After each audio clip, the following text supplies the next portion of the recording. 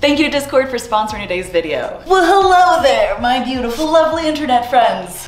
Welcome to the floor. This video is all about you, kid, and you. There's too many of them. I'm not gonna make it. So I am a below the knee amputee and I own two very big dogs. This guy's about 95 pounds. That pretty girl is about 65. And a question that I am often asked, there's gonna be too much puppy madness in this video. I'm not even gonna try to apologize for it. Are you trying to eat me? So a question that I often get asked is how do I take care of dogs well when I have a leg that A is gone, my prosthetic isn't working very well, I'm having nerve issues, there are many days I can't walk. Any additional weight on my leg, like a dog pulling on a leash, is incredibly painful, so I can't do that, and I live alone. Taking care of these monsters with the disability that I have takes a lot of extra work, or just like extra thought, but I have been able to kind of design my life to take care of my babies because I'm one of those annoying people who says my dogs are my world.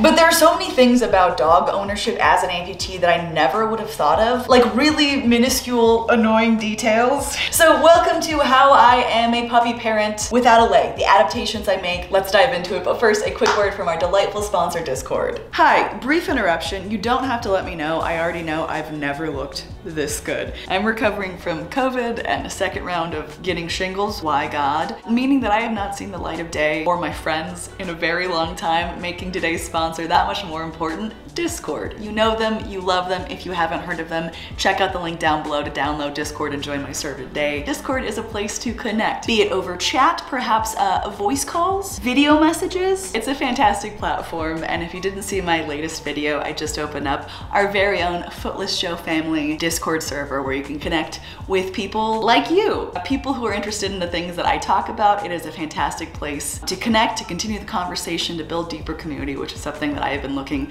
for a way to do with my lovely community here for quite some time. I am so excited to have opened this up and also we will be having a few live chats, scheduled times where I will be hanging out with you guys though I will be on there much more than just the scheduled times. You can check those out down below if you want to chat live with me, but I will be there, other people from the community will be there, and it's a lovely place to talk about subjects that matter to us, like perhaps the topic of this video, which I'm excited to fully dive into here in a couple seconds. So check out the link down below, download Discord today, be it on your mobile device, on your computer, join my server, and again, thank you so much to Discord for helping me feel more connected at a time when uh, I have not seen human souls in far too long. So it's been awesome to use to chat with people and still feel connected. Okay, enough of that. I'm gonna go lay down and let's hop back into the video. Okay, puppy care. Uh, first and foremost, I need to introduce you to these lovely creatures. This is Mr. Leo. I adopted him about three months ago. He's a big boy. He's like a German Shepherd Mastiff mix. Who knows what else? And he is a goofball. Picture the personality of a lab, but with the loudness and loyalty of a German Shepherd. And that's what we got here. Now he is still learning manners. He's just over a year old, so he's still a puppy. And then we have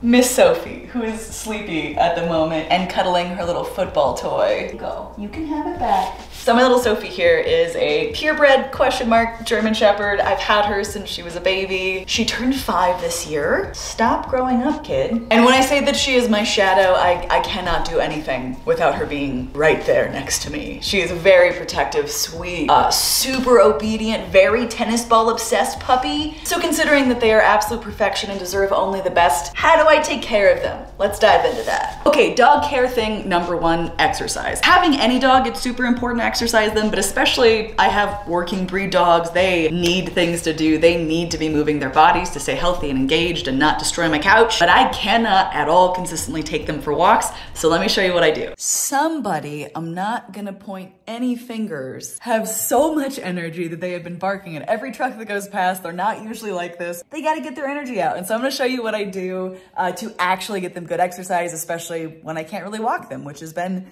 pretty much all the time anymore. But puppies, they still need outlets. They still need places to go and things to do and imaginary squirrels to chase. So let me show you my, my favorite secret weapon against their energy. It's Benadryl. No, I'm kidding. Leo, would you like to go for a car ride? Yeah, you would? Yeah? You guys do want to go? Mr. Leo, we've talked about this. You can't ride in the front seat. And you also can't eat my winter hat my Lord face. Turn the heat up, gonna make the glasses the sticks and I... Okay, it's time to turn on the Panic at the Disco and listen to the Panic at the Puppies. Once we get here, I allow the dogs to go nuts. They cannot before this moment, but as soon as we get on the street and turn into this driveway, the chorus begins. Okay. Yeah? Hi, babies. Are you enjoying your time? So I have the great luxury of having my family live nearby and they have uh, a little bit of property up in a forest area. Quick note, I've said forest before in other videos and people are like, where are the trees? They burned. This actually used to be a super, super dense forest we had a fire that came through, it took everything out, but it is slowly recovering. And so I'm able to bring them up here, just throw the tennis balls for them, especially on bad days. Like even if I can't use my leg, I can still like sit and get them some exercise and then they frolic and play. This is probably one of the biggest tools that I am crazy grateful to have. Uh, like a, a place that I can safely bring them where they can burn off that energy. And by the time they get home, they sleepy puppies again. Come on, Sophie, get your ball. Good girl. Come on, buddy. You guys tuckered and ready to go home. Good dogs. Do you like how there's just a random foot back here? Okay, next thing on the puppy care agenda is the basics, food and water. This seems like not a big deal, right? They've actually posed way more of a problem than I would have ever thought through before because like I've talked about, carrying any kind of additional weight on my leg causes a lot of pain. So when I am carrying these water jugs to refill them or lifting up like a 50 pound bag of dog food, it can be really problematic and there are some days where it is extraordinarily painful to do so. And so what I try to do is one of two things. If I feel capable, I try to kind of batch it all at once, get the dog food in, get all the water filled so I'm not having to take extra steps. But there have also been times when I've like asked a friend to come over and just help me bring in the dog food bag because my leg cannot do it, or help me refill the water bottles because they actually weigh a pretty decent amount. Now, if you are a pet owner, you know about pet hair and the mess that they make. Keeping my house clean is really, really important for a variety of reasons, but one of the things that has actually posed a danger to me is dog hair collecting on the bottom of my prosthetic foot. So even like clumps of hair like this can be a big problem because it is really easy to not only slip on, but also that hair can accumulate on the bottom of my prosthetic foot if I'm not wearing a shoe. I don't realize it because I can't feel it and then I have fallen more than once, like I've slipped in my house or lost my balance because the bottom is entirely coated in dog hair. I'm like talking around this plant, sorry. So not letting dog hair accumulate is a must. And so it's really important that I I keep the dog hair off the ground, which is basic good hygiene for the house anyways. But yeah, dog hair kind of became dangerous after I lost my leg. Also, you know, the basics of uh, keeping toys off the ground so I'm not tripping over things. I think that's less an amputee thing and more just a human thing, but also my wheelchair makes this extra important. Keeping the floor path clean for my wheelchair is really important because this is an obstacle course I was just not prepared for today. Obviously, this is usually a, a pretty quick little fix and then I'm on my way, but it's nice not to have to navigate uh, an unexpected wheelchair obstacle course because of puppy toys.